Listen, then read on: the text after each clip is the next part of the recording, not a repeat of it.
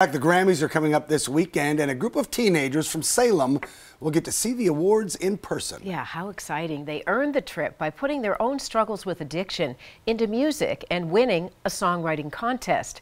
KGW's Lindsay Nadrich has their story. It's this song that's getting 18 year old David Bond and 17 year old Andrew McMane's notice. This is about much more than music. I just got really low in life and I was just like, sure, let's smoke and just get high so I can forget. I did some hard drugs and stuff in the past. Not really hard drugs, but drugs that didn't do me good in the end. Both struggled with drug addiction from a young age and ended up in treatment at Bridgeway Recovery Services in Salem, where they met therapist Sunny Saltlamakia. I see drug use as a symptom of a deeper problem, and usually it's of pain of some kind.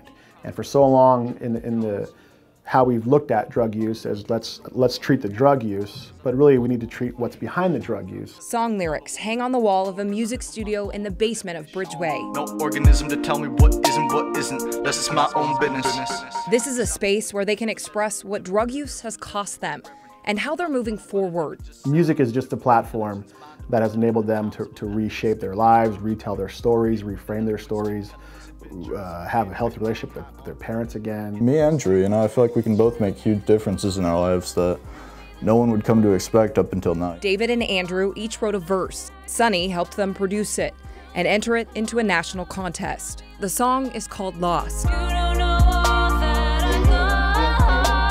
My verse is about my, my mindset when I'm like under the influence.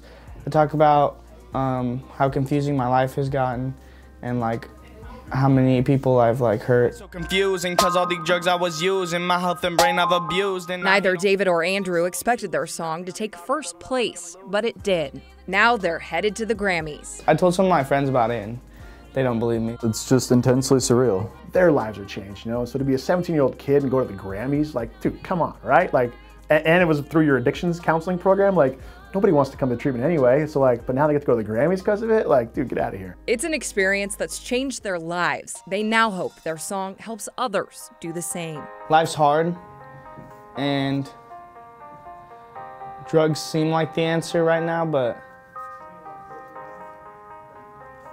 at a certain point in your life, you're gonna realize that you have to change. Tell me the cost, tell me the price. Reporting in Salem, I'm Lindsay Nadrich.